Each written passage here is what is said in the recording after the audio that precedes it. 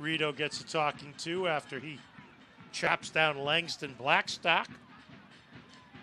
Played at Division Two Clayton State. Here's a shot punched out by Rice.